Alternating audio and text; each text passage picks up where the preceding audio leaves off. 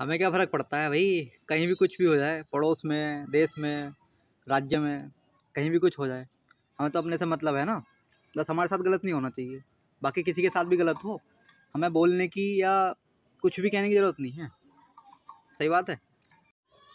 Sir, Dhampur का सबसे बड़ा diagnostic centre Nidan diagnostic centre ठीक है? बहुत सारी फैसिलिटीज़ हैं वहाँ। एक फैसिलिटी जो अभी अभी शुरू हुई है। वो आपको शायद पता नहीं होगा, मैंने सोचा बता दूँ आपको मैं। आपका भी बेनिफिट हो जाएगा, ठीक है? हाँ तो सर एक जो अंकल हैं। एक एग्जांपल के थ्रू समझते हैं बात। एक अंकल हैं, ठीक है? उनको, उनके बैक में फ्रैक्चर हो गया, ठीक है? अब उनको, वो गए वहाँ पे। उनको पेन पेन हो रहा है, ठीक है? अब उनकी फाइनेंशियल कंडीशन इतनी अच्छी है नहीं कि वो जा कर के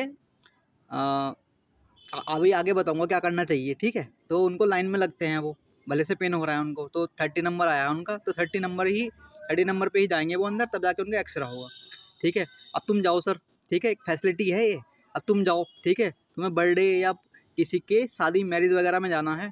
एमरजेंसी है आपको भी, ठीक है? क्योंकि मैरिज या बर्थडे में जाना है। तो सर कुछ नहीं करना है काउंटर पे एक छोटी सी हाइट की मैडम बैठी रहती है।